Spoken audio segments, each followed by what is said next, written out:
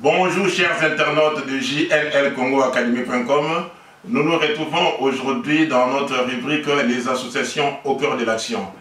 Euh, pour ce, nous allons recevoir Mama Eugénie qui va nous parler de l'association Mama Bolingo. Merci beaucoup. Suivons. Bonjour Maman Eugénie. Eh, bonjour papa.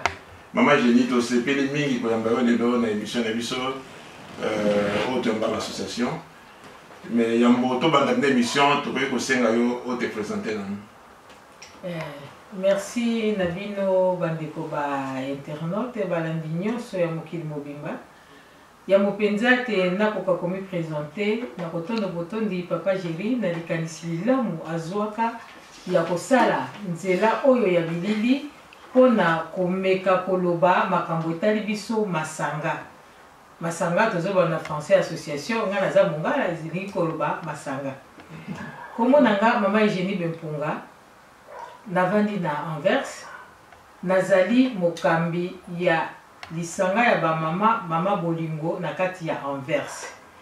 Mama Bolingo elingi koloba eloko nini? Mama Bolingo yambo mpenza ekelamaki kobanda 2010. Esalemaki yambo mpenza uniquement mpo na ba mama congolaise mpo ke tokoka koyebana biso na biso, mpo na kolendisa bondeko kati na biso et mingi likanisi nazuaki Mpo na komeka kosunga bamama na oyo tozali koloba na lopoto integration. Mais sikoyo esali mbula minei mama bolingo ezui coloration mosusu, ezali lisusu Association ya bamama congolaise te, ekomi Association ya bamama africaine. Zambie kuna na kati tokokuta tokomi na ba membre bato ya Cameroun, ya guinee baanglophone lokola ghana na kati oyo maloba te sikoyo bamama na bakoti mpe bato ya bikolo mosusu bazokomprendre nkombo wana bolingo oui bazali kocomprendre nkombo ya bolingo pamba te yambo te moto akota na lisanga tokolimbolela ye tokolimbolela ye mpe tolimbolaki mpo na nini totiaki mama bolingo zambi esika bolingo ezali makambo nyonso ezalaka kaka ya malamu Biso na eyamba na biso bakatoliko tolobaka bolingo ezali mabongi ya makambo manso. Epuis soki tolobaki mama bolingo, zambi biso banso tozwaka bomoi a travers ba mama na biso. E tango mama ayambaka mwana, abombi ye sanza libwa, tango aboti ye, nionso esalemaka na bolingo. Voilà, yango nde topesaki ye kombo wana. Olobi moke ke groupe na bino esalamaki Ils ont association ebisamaki mpo na kofacilite integration eza na sens nini wana eza objectif moko to baobjectif mosusu ezali mpe ebele baobjectif papa ezali ebele mais ya liboso mpenza personnellement nazalaki kovise oyo etali integration bolimbisa ngai na sens nini eh, yango naza kokende bandeko balimbisa nga Loin de là, ezali critique te que na critiquer bato oyo balingaka kaka ko vivre na OCMW te oyo babengi na kote ya Bruxelles ah, CPS te na critiquer moto te mais ngai na vision na ngai ntango nakutaki bandeko mingi bavandi kaka na bozilaka mbongo ya OCMW lokola biso tovandi na Flandre Lokota oyo ya Neerlandais, oyo ezali langue locale, bandeko mingi bazalaki kolinga yango te. Bazalaki meme koloba yango ke monoko ya mbwa. Nakoki kopesa ndakisa ya nga moko, nga naza mama mokolo, ntango nakomi awa, mikolo nyonso nazokende koyekola Neerlandais, balobi na nga, akokende na monoko yango wapi? Eloko ezali kaka awa na Flandre na na Hollande. Alors, namonaki ke ebongaki bamama bazala autonome. Oyo ba lobaka na neerlandais pona Franklek, independante, c'est à dire ba yekola lokota, na boyebi lokota ba kozua misala na bango, epa na biso na Flandre awa ezali equation sine qua non, po oka kozua mosala il faut koyeba lokota na bango. Tango mama azui mosala na ye, Mbongo ya salaire ezali elengi koleka ya motoki na yo, zambi ata Bibilia elobi te na motoki ya lipa na yo nde ya elongi na yo nde okoliya lipa na yo. Pamba te nakutaki bandeko mwa mingi bazali ntango nyonso kotala kaka maboke na televizio, bazali kaka koperdre temps na bango na telefone. alors ntango bato bazangi occupation eboti nini eboti songisongi eboti makambo ya mabe eboti mpe bana bazolanda bino kaka kofanda bandako bana baza kozwa courage voilà papa yango nde nalobaki ke ebongi bamama basintegre bakosintegre ntina nini na lolenge kani na bolandaka mibeko ya mboka oyo eyambi biso zambi na biso na bana na biso tozosala bomoi na biso awa boye Alors, l'intégration là na visa qui apprentissage ya langue, formation professionnelle et puis obtention ya misala mpo na kozala indépendante. OK, en tout cas tomoni likanisi malamu mpenza. Bato ebele balandi yo. Ça fait déjà 4 ans boza na euh, association wana? Non, non, non, non, non, tobandaki depuis 2010. 7 ans déjà. Eh, 4 ans de depuis ici que commis association ya ba maman africaine. Donc monsieur Zaki ba congolaise. Ba congolaise. Mais commis africaine. Ah. Eh, mais entre temps, kaka na kati intégration wana, maman Bolingo azo travailler sur trois priorités. Toza na ba makambo ebele mais priorité ya biso tokangaki misato pona nini? Hmm. Priorité ya liboso ezali sur la santé. Po bino boyebi ke mingi biso b'africains et mingi ba congolais epai na biso microbe ezalaka te. Ezalaka kaka kindoki. Kasi ba ba loba ko mutu mutu akufa na microbe te. Ya solo papa Gilles okanisi bongo? Ah ignorance ezo sala biso makasi. Eh, alors sikoyo tokamataki volet wana ya sante yango toza kotravaille na bapartenaire na biso ya service ya sante ya ville d'anverse eh, desordre de prévenci mpo na prévention beaucoup plus ya bamaladi eh, sexuellement transmissible ndenge nini kogere bamama bastress ya grossesse mpo tolobaka ke oh, biso toyebi yango kokombo stress te orke stress ezali koexiste Réel, euh, réellement mais biso tolingaka kaka konéglige makambo nyonso alors toyei kokamata lisusu priorité na biso mosusu l'instruction et l'éducation na néerlandais tolobaka onderwijs en opvoeding tussen twee culture c'est-à-dire kobokola bana kati ya culture mibale bana na biso oyo babotami awa na bana na biso mosusu bazali koya mpe bana bake awa boye Awa na poto ezali baza na culture na bango biso na afrique kuna tozali na culture na biso pona kobokola bana na kati ya culture mibale wana ezali pasi mingi papa Jerry ezali pasi parce que na ndako opesa kiti mususu na libanda na classe akikuta na kiti mususu bon yango wana Ngai moko personnellement à part formation na ngai nabosanaki kutu koloba ke ntango nakomi liboso awa nasali néerlandais oyo eza langue locale mpo e, ezala nazala na fungola ya kotoke baporte nyonso après ça naye kosala formation culinaire naye ko travailler comme professeur de cuisine pendant deux ans et sikoyo nazali kotravaille comme bénévole na bamama na bilenge basi na bilenge babali na kolakisaka bango kuku kolamba ya mboka oyo boye après ça je me suis dit na créer sika association na formation culinaire wana ezalaki kaka formation ya biloko ya biso bacongolais to biloko nyonso na mindele te papa nasali cuisine internationale ah, Eh, alors nasali na- Bafungwa, eh, ba- ba- nasali ba- makasi ba- nasali makasi biloko na biso mpe nakotisi yango na kati ya bamuni awa boye Oui. c'est ce qui fait que tosalaki livre ya liboso avec directeur ya ekole natangaki ezalaki intiti- intitulé immigrasi gesmart na kati wana bakoma bomoi na ngai bakoma mpe nalakisa na, na, na fufu nalakisa poulet ya la mwambe nalakisa mpe pondu ndenge ya kolamba eh, nalakisaki ndenge ya fufu ya manioko mpo ngai nauti na équateur epa na biso fufu ya masango ezalaka te me tokoma olia masango nde na kisasa eh, alors sikoyo na nsima formation culinaire na ngai nde naye kokende na université ya driek naye koyekola triple p triple p eza nini nde ezali methodologie ndenge ya kosunga baboti mpo na kobokola bana wana université ya anvers eh, na, na driek na wilirek ah, na anvers alors Na lobi mais na ko kamba ba ndeko ndenge nini? Po na toloba makambo ya ko bokola bana entre les deux cultures soki nga moko na yebi methodologie wana te. Nde na kendeki na tangaki yango na yei pe sikoyo to zali ko bundaka ya ko sunga ba mamans. Pamba te mabota ebele ya biso bato muindo awa to za na difficulte makasi ya ko bokola bana na lolenge ya culture ya awa. Yango mama Bolingo Moko ya baobjectif na ye encadre baboti batata na bamama mpo ke tosunga bana na biso bana babunga te parce que bana ya biso mingi babungi bamosusu bakamati kaka makambo ya awa bamosusu mpe oyo baboti baza na une sorte ya dictature balingi ka batikala ka na makambo ya culture oyo ya biso ya congo alors bana bazali perdu sikoyo association na bino eske eyebani na leta parce que na moyoki namoni te ezali mpenza makanisi kitoko mpona na intégration tout ça leta ayebi yango biso tozali vzw ah. oyo bobengaka na kote ya bato balobaka français asbel tozali meme immatricule ah, malheureusement immatriculation na biso nayebi na motu te eh, tozali reconnu na gouvernement belge Soki bokoti na moniteur belge bobeti mama bolingo ata na partir uh, website na biso mm -hmm. bokomona sito bobeti mama bolingo pinti be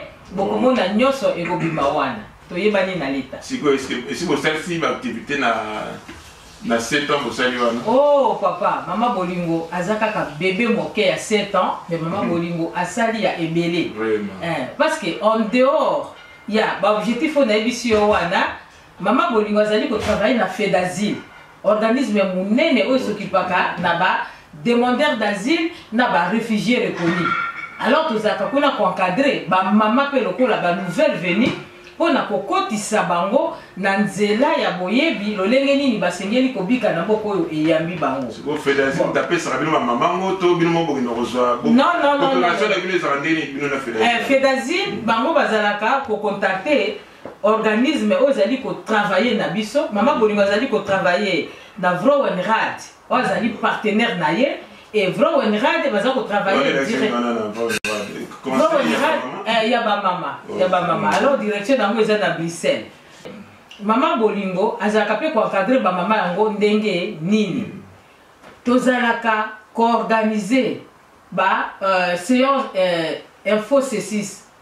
na français session d'information session d'information bolimbisa ngai français yango ekoma mpe akotenga makotenga malikolo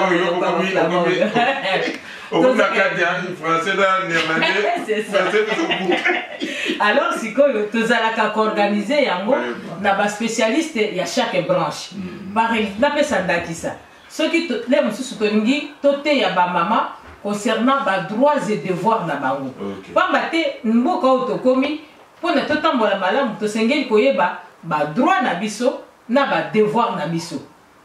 Alors, ngai nalingaka ko dissocier ba droits na ba devoirs te, na traitaka toujours ba droits et devoirs comme ba siamois. Bato wana basengeli kokabola bango te. Alors, nasalaka nini?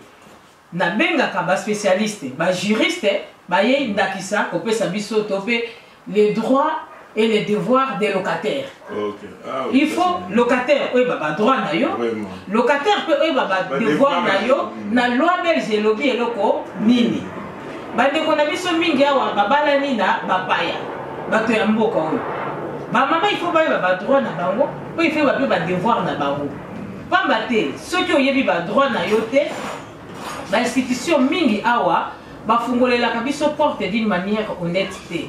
Yango nde nabundaki nalobi malamu nga moko mpe nakende nayekola yango bongo tozala kotravaille na bajuriste mpo ke baya bayebisa biso bafungola mayele na biso bon en ce qui concerne par exemple domaine ya santé Naza ko travailler en partenariat avec Institut ya Medecine Tropicale okay. ya Anvers. E kuna ba minganga, ba ndeko muindo, ba ndeko mindele bazali pe bayaka koteya biso ndenge ya bokono bokono ya ndenge na ndenge engebene mpe na mibeko ya awa bayaka mpe koteya biso toyeba badroit na biso na sante parce que tout le monde a le droit ke azala en bonne santé mais mbala mosusu okokende quelque part parce que par exemple bandeko bazangi bapapier parce que ozali sans papier bakoyamba yo te eh, tandis que soki oyei na mateya epai ya mama bolingo mama bolingo akotia yo en contact Avec les metiers du monde.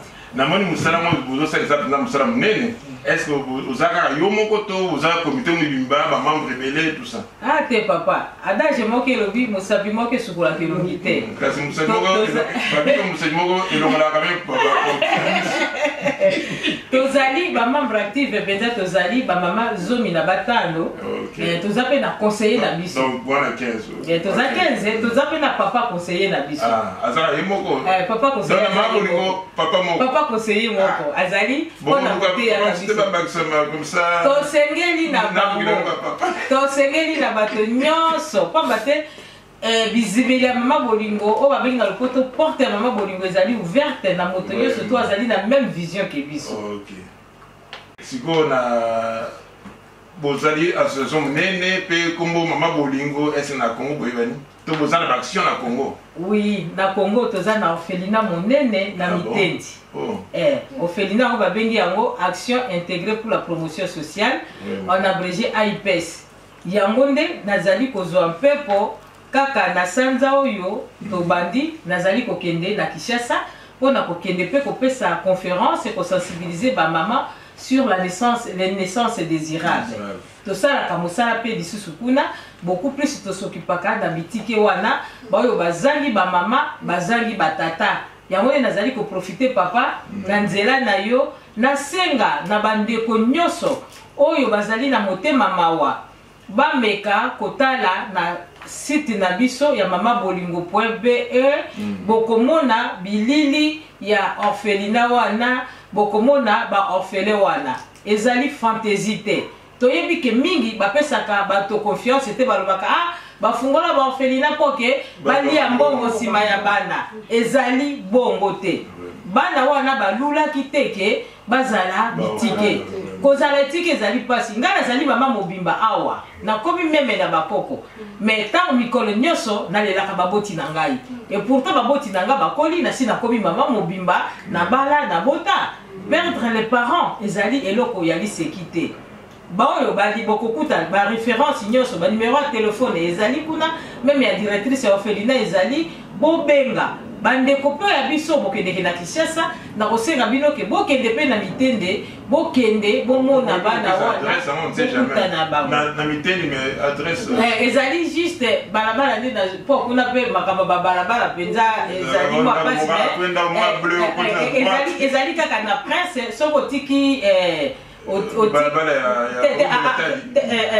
avant okoma na kasangulu na mitendi wana kaka na prince mm. pembeni na église catholique pembeni na école catholique bokomona kaka na babala bakoma ipes ezali deux bâtiment bakoma ipes badesina bakoma koma makambo wana bongo sikoyo bozali bamama na ya na ya ya congo na ya bamama mosusu africaine te na congo bosalisa biloko mosusu na baafrike kote mosusu bamali banini to activité ezalaka concentré na na congo eh, mais jusque là na bamama oyo ya bapays d'afrique mosusu oyo tozali awa baoyo baza na kati ya association mm. nano tobandi baaction mosusu nano kuna te mais tosalaka baaction ya soutien par exemple dernièrement na cameroun makambo ebimaki nde bazali konyokola basi kuna na cadre ya marche mondiale nga moko mpe personnellement nazali représentante ya flandre alors na mpo na kodefendre ba interet ya basi yango wana tozalaki kokoma eh, bamemo moko boye na ndenge ya tosoutenir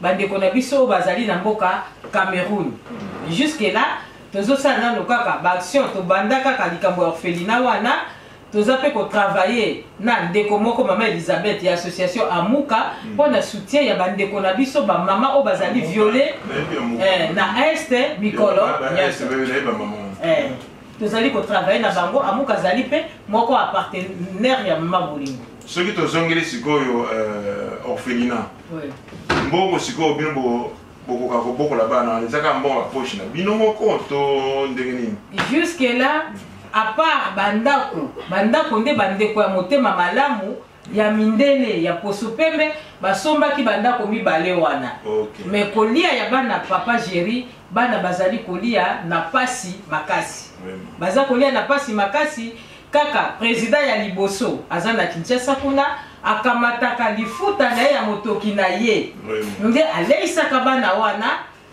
alatisaka bana wana klasi na bango soin de santé na bango eh, alors sika bana wana bazali kovivre très difficilement mhm. yango nde cri d'alarme na ngai lisusu bandeko tofungola mitema bato principe na ngai ezali boye viens et vois na nerlande baloba comme mzi na kikongo baloba kimona meso na lingala baloba yaka omona bokende botala bana wana mais sikoyo awa boza mpe na euh, activité moko bozosalisa na moni eza soki le 15 oyo eh, eh, awa tozali kosala na le 15 juillet oyo oh, yambo mpenza nalingi kolimbola mwa moke mpe na profite mpo na kopesa merci na bakonzi ya ville d'anvers parce que nyonso oyo tosalaka chaque année tozalaka na projet ya mbula mobimba mm. oyo ezwelaka biso de 15 à 20 activités les sorties ah. na basortie lokola 15 à 20 activités par an par an eh, ezali ebele mpo eh, na toprofitaka na baactivité na biso na chaque thème tozwaka mm. bamama mpe bayekola lokota ya néerlandais alors tozwa to, tosala toorganisaka yango na lisungi ya nani ya ville d'anvers okay. soki toorganize ba si oyo bar de wever azali bourgmestre kuna oui oui ye bourgmestre ah, na complication te te te ye alingi basali ah, okay. eh, ye alingi alingi bato basalaka mosala mm. eh, na kati ya bato yango basalaka mosala nazali fiere ya koyokaka bipai nyonso ba television ezali koloba ba journaux ezali kokoma mama bolingo batangaka ye na ba bureau nyonso parmi ah, bato oyo basalaka mosala justement pamba te bamosusu bakanisaka kaka a ah, bamama africaine bayawa kaka Mpo na koya kosakana te, mama bolingo azali kosala mosala monene. E mama bolingo azali mpe kobenga ndeko nyonso oyo aza na likanisi malamu ya kotonga mboka na awa na bipai touta na, na ba pays d'Afrique. Porte ezali polele. C'est pour cela le 15 juillet oyo na 13 heures mhm. toorganize evenement monene tozali kobenga moto nyonso kokota ezali ofele mhm. ya kolia ofele oh. ya komela ofele oh, mabina ofele bino bamama bana crèche ofele suri ya mama jeli mpe ofele alors boya tosangisa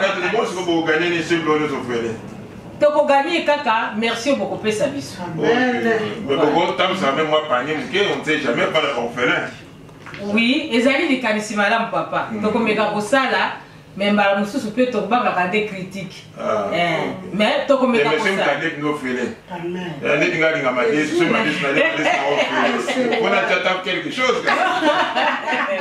soki bato yesu bazalaki na makanisi malamu mais tozali kosenga lisungi ya bana wana mm. tozali kosenga lisungi ya mama bolingo boya kosunga mama bolingo na koparticipe na baaktivité na ye boya kosunga mama bolingo na batoli na bino ya kitoko mama bolingo azali kaka bebe ya 7 ans mais oyo azali kosala ezali ya minene tosengeli mpe na lisungi na bino mpo tokola lisusu malamu donc biso mpenza tozala na adresse yango mpe totie na serva donc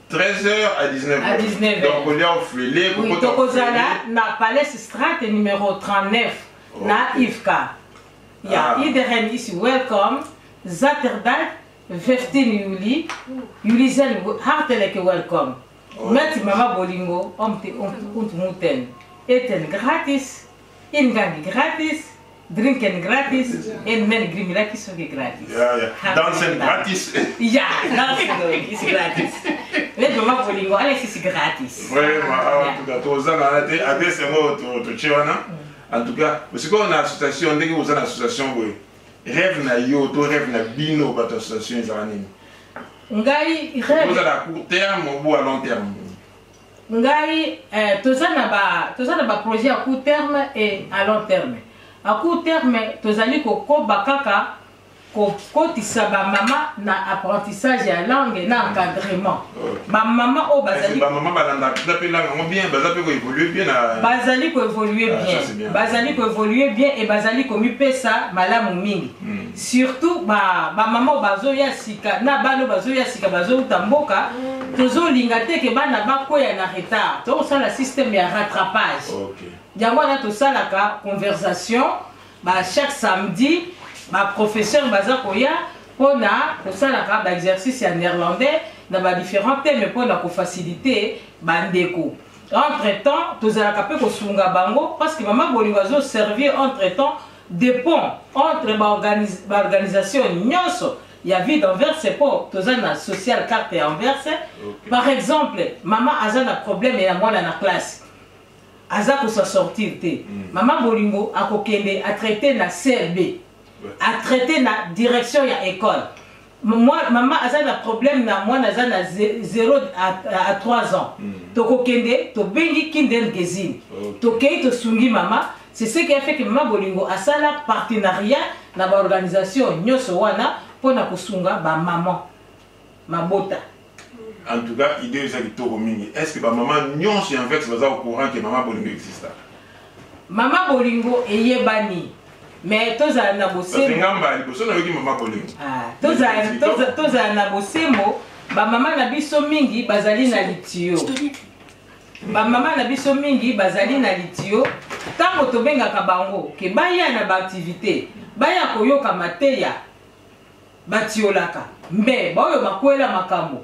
Ndakisa, ozalaki na papier te, mama bolingo abundi, abundi, abundi, abundi, aluki ba avocats, ti, ti, ti, ti, ozui ba papier, ale, okangami na mama bolingo. Mm. mbala mosusu babotoli yo ndako na propriétaire na yo oyebi badroit na yo te ke akokoloba no te lokola na kisasa ebima na ndako na ngai mm. kaka soki baza na baproblème na bapapa na bamama na bana nde tomonaka bango mm. et parfois ce problème ekomi résoli bakimi na bango kasi sikoyo profite mpe na kamera oyebisa bango ke bayaka obenga bango tolobaka tolobaka papa tokoki kolemba te hmm. bomo ya association eza lokola ndako ya nzambe te bamupe bapaster balembaka koteya biso te yango ngai naza koloba na bino bamama batata bandeko vous qui me suivez en ce moment si précis Je profite de cette opportunite pour pouvoir lancer encore un appel à tout le monde.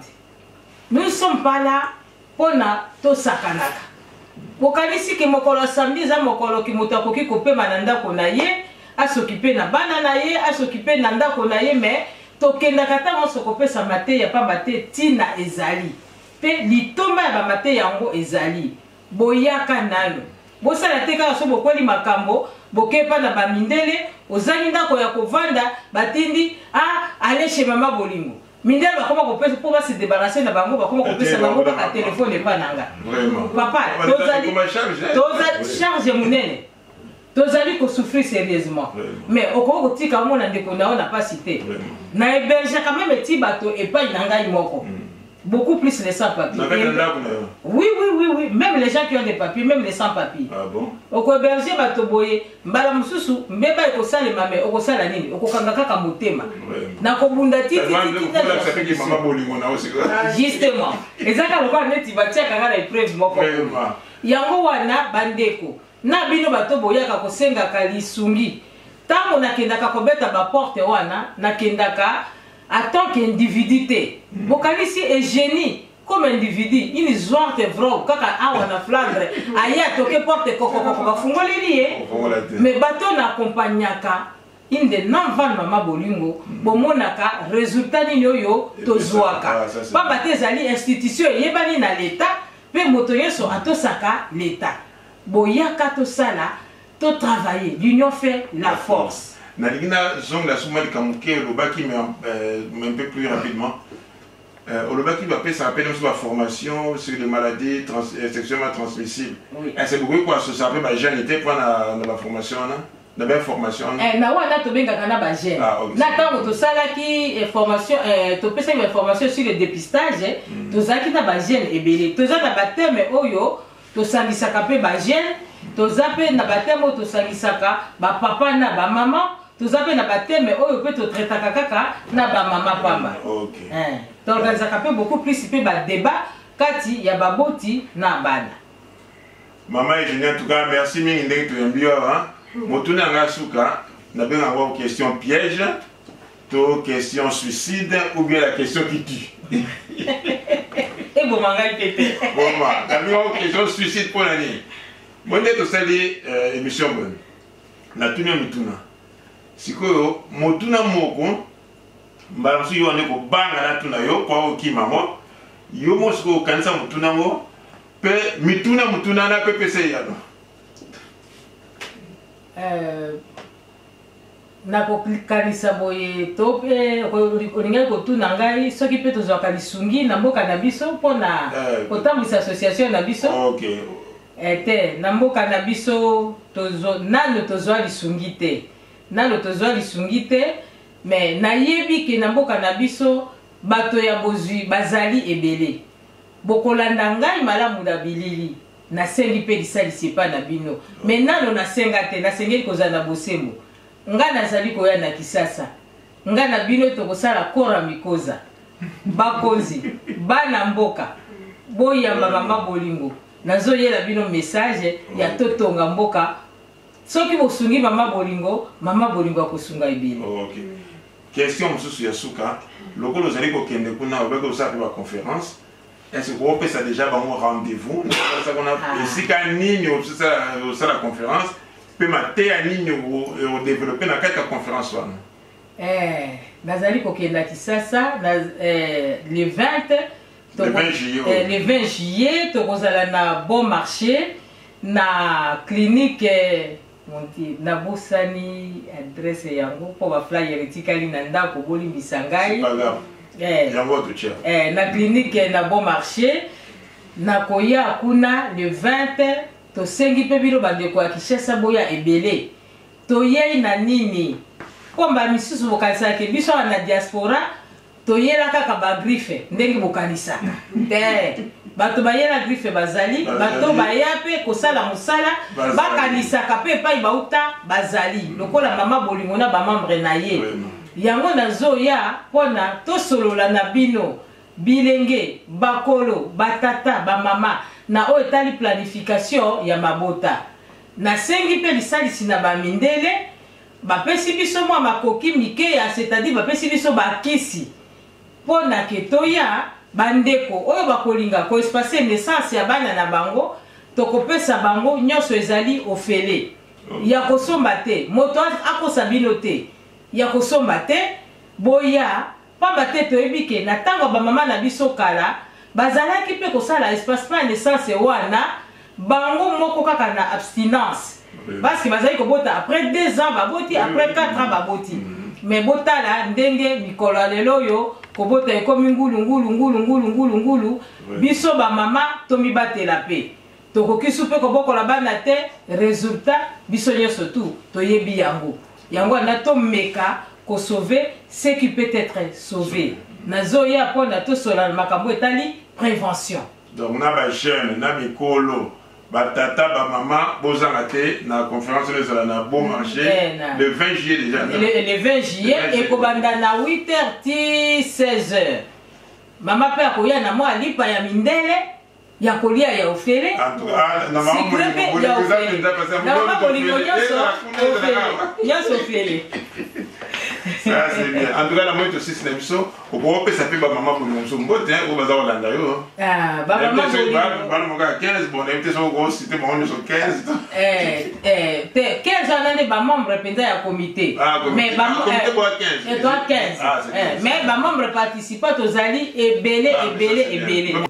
Nakopesa mbote na vice-presidente na biso Mama Lilas Ndekila, trésorier na biso ministre des Finances Mama Gabi Mbomba, Mama Marie Kitemoko molandi na yo, Mama Mami Mananashi, Mama Emerance Luzemba Dilu, Mama Véronique, Mama Angèle, Mama Marie Kingu, Mama Laurentine, Mama Cécile, Mama eh, francine Euh, bamama oyo na nga bozali mpe nde ebele ebele ebele ebele baye natangi nabosani ah, bino te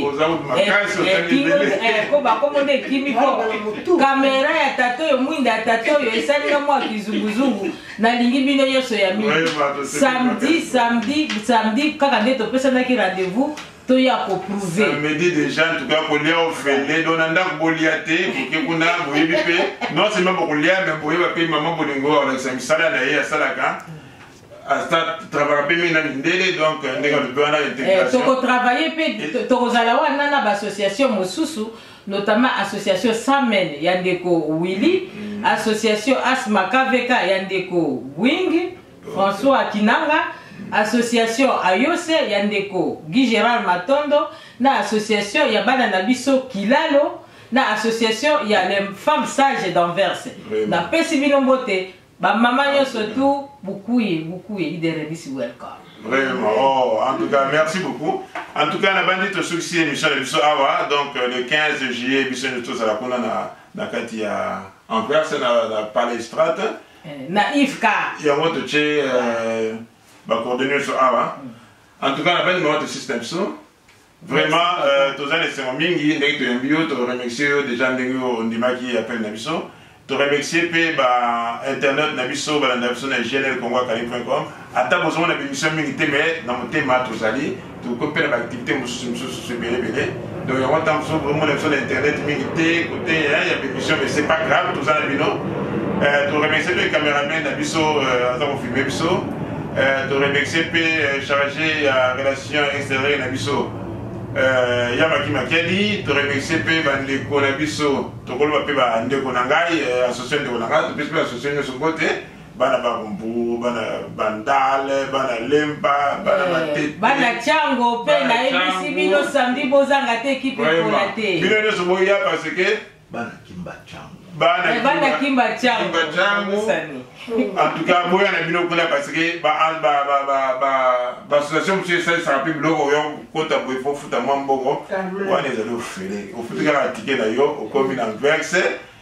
oke kodame na yo oke kolia oke komela osepela mpe na ntango ke tokofanda ensemble na bato ebele ezalaka mpe mwa bien kopemta biso mpe to destresse en tout cas tosuki na biso awa merci beaucoup bokonde kolanda biso wa bino na micro molobeli gerilandu 3 étoiles merci bien au revoir